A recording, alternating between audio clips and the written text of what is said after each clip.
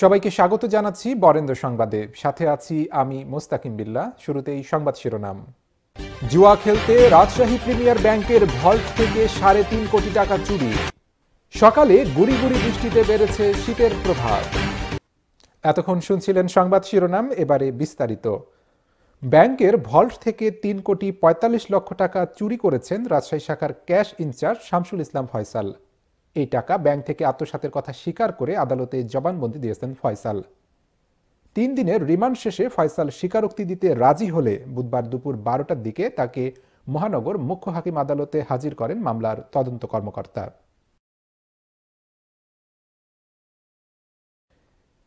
এদিকে টাকা আত্মসাতের ঘটনা তদন্তে এরই মধ্যে ব্যাংকটির প্রধান কার্যালয় থেকে উচ্চ পর্যায়ের একটি তদন্ত টিম রাজশাহীতে এসে তদন্ত শুরু করেছেন।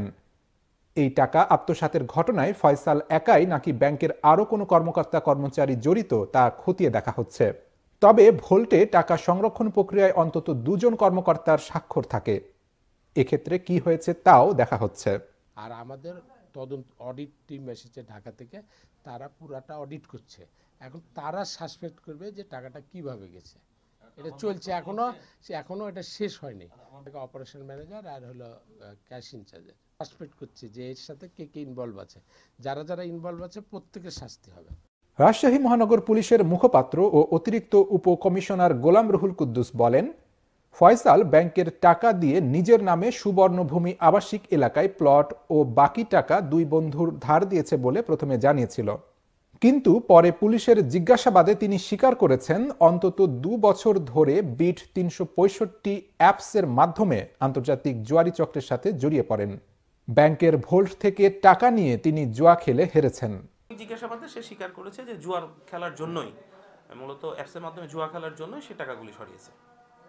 এর সঙ্গে আর কারও সংশ্লিষ্ট পাওয়া গেছে এটা এখন আমরা তদন্ত পর্যায়ে আছে আমরা চেষ্টা করছি আরও কোনো কারও সংশ্লিষ্টতা আছে কিনা এগুলো যাচাই বাছাই করার। ফয়সাল পুলিশকে জানিয়েছেন জুয়া খেলতে ব্যাংকের ভোল্ট থেকে টাকা চুরি করেছিলেন।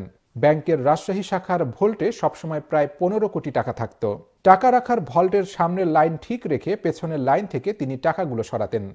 এতে করে ব্যাংকের কোনো কর্মকর্তার সন্দেহ হতো না। ক্যাশ ইনচার্জ হিসেবে তিনি দৈনিক টাকার হিসাব রাখতেন। খাতা কলমে টাকার কোনো গরমিল ছিল না। গত তেইশে জানুয়ারি ভোল্টের সমস্ত টাকা গণনার পর তিন কোটি পঁয়তাল্লিশ লাখ টাকা কম পাওয়া যায়। এ সময় তিনি টাকা সরানোর কথা স্বীকার করেন। প্রথমে তিনি বলেন টাকাগুলো তার দুই বন্ধুকে এবং তার ব্যবসার একটি প্রকল্পের কিস্তি দিয়েছি। টাকাগুলো ফেরত দেওয়ার জন্য সময় চান তিনি। তবে তার কথায় সন্দেহ হলে রাত বারোটার দিকে তাকে পুলিশের হাতে তুলে দেয় ব্যাংকের কর্মকর্তারা।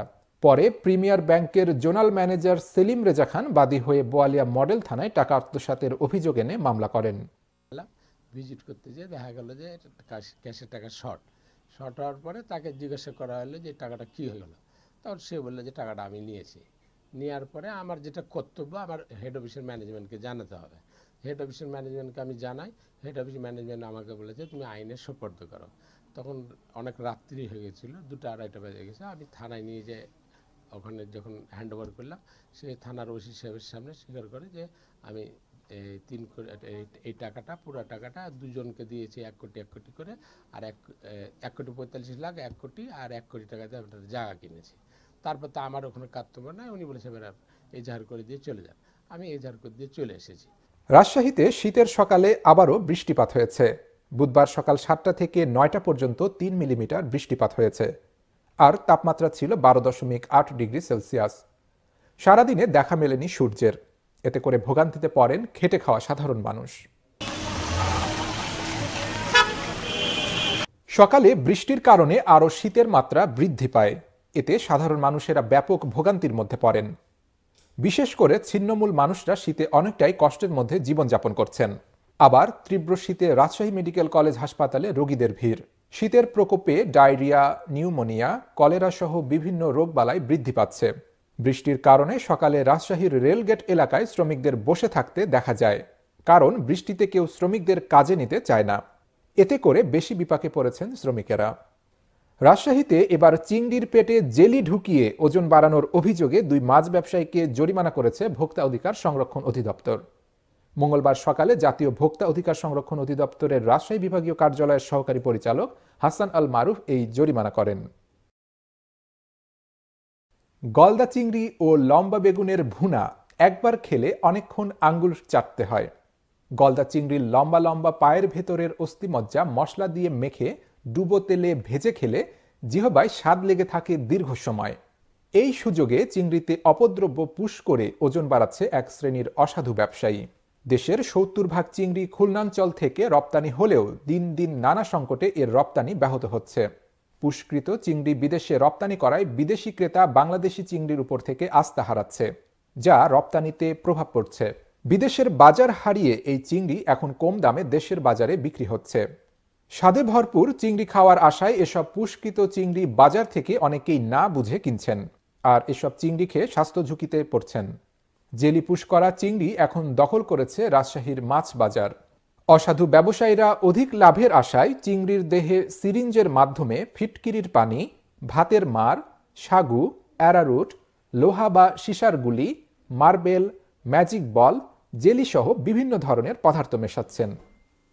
নাটোরের বড়াই গ্রামে দুটি যাত্রীবাহী বাসের সংঘর্ষে অন্তত ২০ জন আহত হয়েছে। আহতদের নাটোর সদর হাসপাতাল সহ বনপাড়ার বিভিন্ন ক্লিনিকে ভর্তি করা হয়েছে। বুধবার বেলা এগারোটার দিকে উপজেলার নাটোর বনপাড়া মহাসড়কের কালিকাপুর কৃষি ও কারিগরি কলেজের সামনে এই দুর্ঘটনা ঘটে।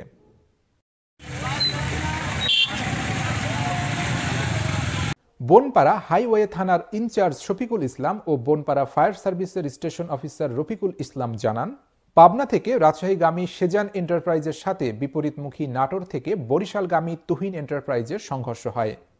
এতে উভয় বাসের অন্তত ২০ জন যাত্রী আহত হয়।